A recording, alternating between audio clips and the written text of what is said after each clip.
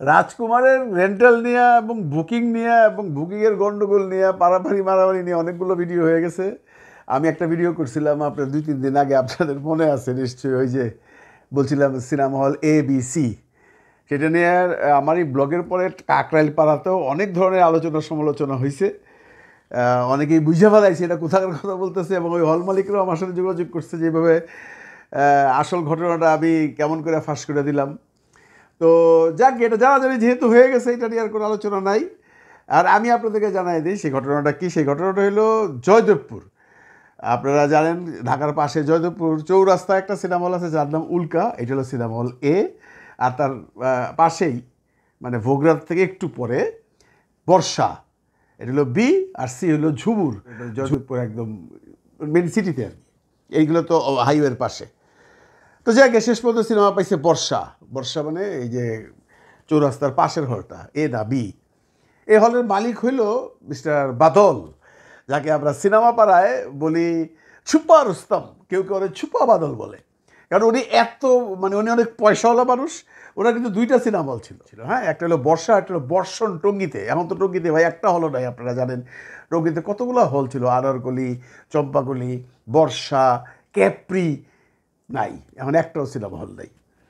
উনি বর্ষা ভেঙে দিছেন, বাকি সিনেমা হল ভেঙে দিছে, উনি শুধু বর্ষণটা রাখছেন জয়দেবপুরে। এটাও ভেঙে দেওয়ার চিন্তা ভাবনা করতেছে, শুনলাম আর কি। তো উনার হলই শেষ পর্যন্ত পাইলো। ওনাকে আগে জিজ্ঞেস করব, উনি কোন ক্ষমতায় ছবিটা লাগাইছে? আমরা যেটা শুনছি সেটা সত্যি কিনা যে সে তার ফ্যামিলির পরিচয় দিয়া ছবি নিয়ে গেছে, কারণ ছবি তো বুকিং করা ছিল উল্কা জয়দেবপুর মানে আমার আমার কথা মতো সিনেমা হল এ। এখন শুনতেছি, এখন বিআরসি চালাবে। বিআরসি চালালে কোনো অসুবিধা নাই কারণ একটা হলো চৌরাস্তার পাশে আর একটা হলো শহরে। তো এই বর্ষার বাদল সাহেব বেসিক্যালি চলচ্চিত্রের সাথে বহু বছর যাবার সম্পৃক্ত এবং উনি খুব পর্বকারী মানুষ।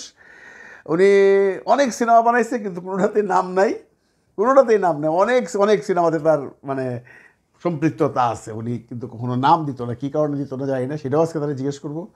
এবং সে মাঝখানে কিন্তু প্রিয়তমও চালান নাই। উনি কিন্তু এটা অনেকদিন পরে এই সাকিবের একটা ছবি ধরলো। ও সাকিব সম্পর্কে সে জানে, সাকিবের পপুলারিটি সম্পর্কে সে জানে, কারণ যেহেতু সে সিনেমারই তো মানুষ ভাই।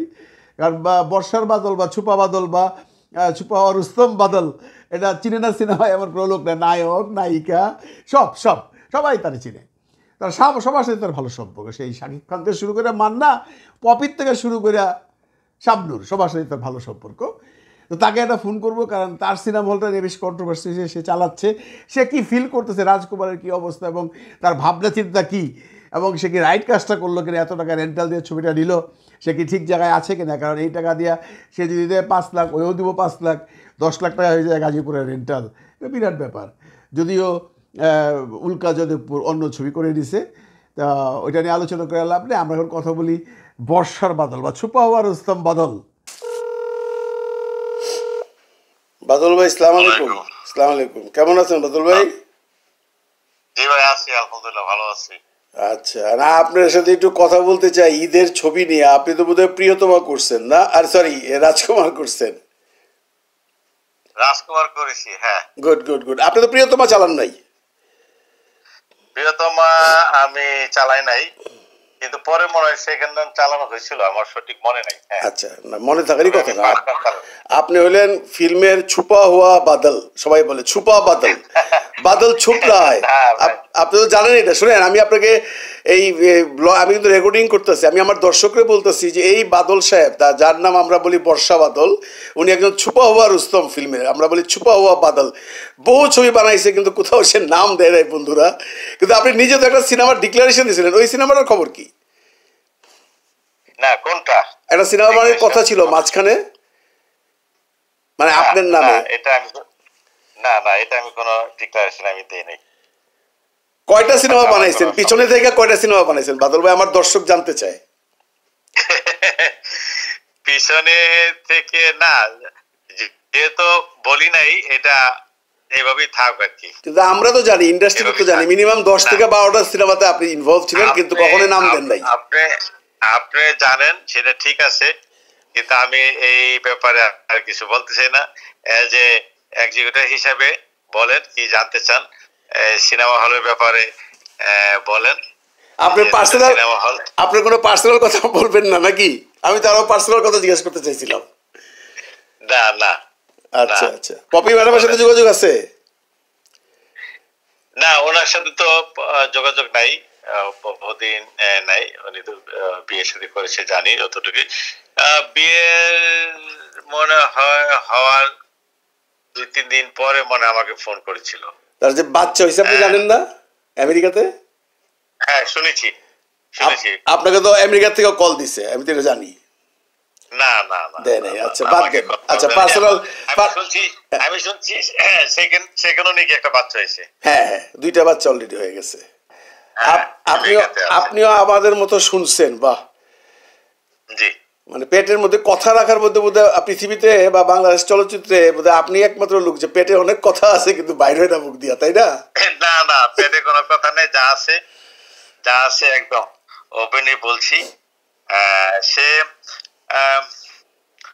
অ্যাকচুয়াল হয়েছে কি মানে তার তো অনেক রকম সমস্যা ছিল। সেই সুবাদে আম- আপনি তো জানেন যে আমি সবসময় মানুষের কাজে কোনো সমস্যা হলে অন্তত উপকার করার চেষ্টা করি। সেই সুবাদে ফিল্মে তো অনেকেই অনেকেই আমার কাছে আসছে আমি উপকার করেছি। এখন আমরা সিনেমায় আসি আবার ফেরত রাজকুমার আপনি রাজকুমারের নিয়ে একটা কন্ট্রোভার্সি হয়েছে ঢাকা শহরে আপনি জানেন আমি একটা ব্লগও বানাইছি যদিও আপনার নাম বলি নাই এবিসি দিয়ে বলছি আপনি দেখছেন কিনা জানি না। এটার ঘটনাটা কি? ছবিটা উল্কা তো করছিল মানে মৌখিকভাবে। তো ছবিটা আপনি নিলেন কেন? উল্কা করছিল কিনা আমি জানি না। আচ্ছা। আমার বুকিং বিগিনিং থেকে মাস্টার সাহেব তো আহ, সুনামধন্য ব্যক্তি সে তো ম্যাক্সিমাম বাংলাদেশের সিনেমা হলগুলা সে মানে বুকিং করে। মাস্টার সাহেব বলল যে এই ছবি না আমি বললাম, না এত দাম দা ছবি আমি কীভাবে এত দাম দামি ছবি নিব না? বলছে দেন অপোজিশন বলতেছে। তাই আমি বললাম যে কীরকম বলল যে পাঁচ লাখ টাকা কম হবে না। আমি বললাম না পাঁচ লাখ টাকা দামি ছবি নিব না। অপোজিশনে নিবে। আপনি দিয়ে দেন অপোজিশনে যে নিয়ে থাকে, দিয়ে দেন, অসুবিধা কি আছে? আমি তিনের উপরে যাব না। তো অজিত বলল যে, না, ছবিটা খুব ভালো হবে। আগের ছবির থেকে প্রোডাকশন তার থেকে ভালো হবে। তাই যাই হোক, এই ছবিটা আপনি ই করেন, আপনি নেন। যদি এটা যদি টাকা না পান, তাহলে আমি আমি দিব। কত? বলল যে অপোজিশনে যেটা বলছে, পাঁচ লাখ। আমি আচ্ছা যেটা ভালো মনে করেন সেটা করেন। তবে ঠিক আছে না এইটুকুই আমি জানি আর কি এর বেশি আর কিছু আমি আচ্ছা, কিন্তু আপনাকে- আপনাকে একটু আমি জানায় রাখি আমাদের কাকরাইল পাড়ায় মানে চলচ্চিত্র জগতে কথা উঠতেছে। আপনি বাদল সাহেব বেশ ক্ষমতাশালী একজন লোক আমরা আপনার গল্প শুনলাম বা সবাই জানে। আপনি আপনার ক্ষমতার অপব্যবহার করছেন। আপনি মহামান্য প্রেসিডেন্টের ছেলেকে আপনার পরিবারের পরিচয় দিয়েছেন এবং আপনার সাথে তাদের পারিবারিক খাতির আছে। এই জন্য আপনি ছবিটা পাইছেন, ছবিটা এই জন্য অপোজিশন পায় নাই। এই ব্যাপারে আপনি কি বলবেন? না না, এটা এটা এটা কথা ঠিক না। এটা এটা এটা কথাটা মোটেই ঠিক না।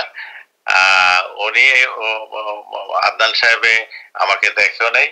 আমিও তাকে, আমি চিনি না। এই ব্যবসায়ী হিসেবে ছবিটা দিয়েছে, আমি নিয়েছি তার সাথে আমার কোনো কথা হয় নাই। আপনার সাথে কোনো পারিবারিক সম্পর্ক নাই? না পারিবারিক সম্পর্ক সেরকম নাই। যাক আমার মানে আমি চিনি আর কি। আমার পরিচিত আমি আপনি জানি চিনি আর কি। আচ্ছা তারে চিনে না কেন বাংলাদেশে? সবাই চিনে সেটা তো আলোচনার বিষয়বস্তু আমরাও চিনি। আচ্ছা, কিন্তু আপনার সাথে একটা নাকি পারিবারিক সম্পর্ক আছে যারা শুনলাম। যে কারণে আদনান সাহেব আপনাকেই ছবিটা দিছে।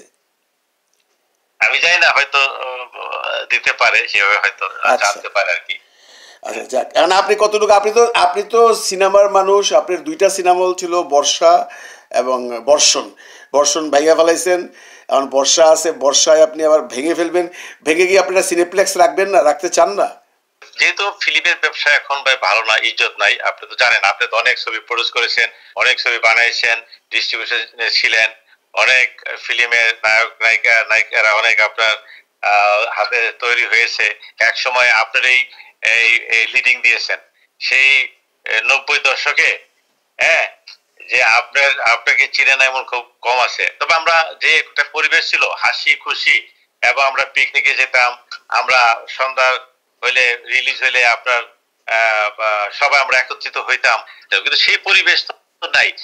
তো এই অবস্থার ভিতরে ধরেন সিনেপ্লেক্স বানায়া কি হবে? প্রোডাকশনে তো নাই। তো যেহেতু চলচ্চিত্রের মানুষ, আমার একটা রিকোয়েস্ট থাকবে। একটা ছোট্ট সিনেপ্লেক্স বানান, অল্প সিটের সিনেপ্লেক্স আমি মাল্টিপ্লেক্স করেন। সিনেপ্লেক্স করেন, ছবি তো এই বাজার থাকবে না। এই বাজার থাকবে না, ছবি হচ্ছে তো এখন। এই সবাই এখন ঈদের মধ্যে পাড়াপাড়ি করে শাকিব খানের সাথে শুনলো ছবি রিলিজ করতেছে। এই দিনও থাকবেন এরপরে আর এগুলো হবে না। এটা আমার রিকোয়েস্ট হইল আপনার কাছে। এখন শেষ প্রশ্ন হইল, আপনি রাজকুমার, আপনি তো কোনো খোঁজ খবর ইদানিং বোধহয় রাখেন না চলচ্চিত্রের। শাকিব খানের অবস্থান এখন অনেক উপরে, আপনি জানেন বোধ এটা, তাই না? ওর একটা বিরাট ফ্যান বেজ আছে, বিরাট বিরাট, যাদেরকে সাকিবিয়ান বলে। ওরাই কিন্তু একটা সিনেমাকে হিট করাই দিতে পারে। আপনি কতটুকু আশাবাদী এই রাজকুমারটা নিয়ে?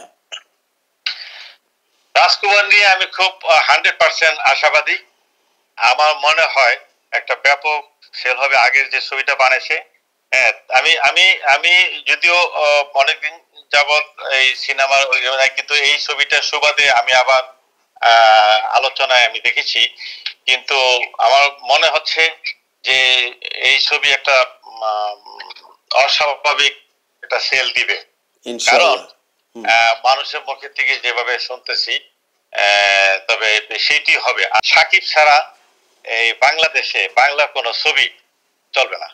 অতএব যদি ছবি যদি বানাইতে হয় এই ছেলেটা নিয়ে বানাইলে কোনো রিস্ক নাই টাকা আসবে। আর আদারওয়াইজ কোনো ছবি আর এই দেশে চলবে না।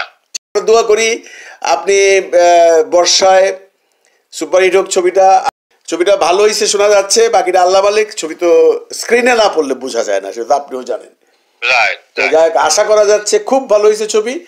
আর ঈদের পরে আপনার সাথে আমি ঈদের পরের দিন বা ঈদের একদিন দিন পরে আবার যোগাযোগ করব। একটু শুনব আপনার মুখে। ঠিক আছে। ঠিক আছে ভাইয়া? ভালো থাকেন বাদল ভাই. কল দিব ওকে। ওকে ভালো সালাম আলাইকুম সালাম আলাইকুম সালাম আলাইকুম।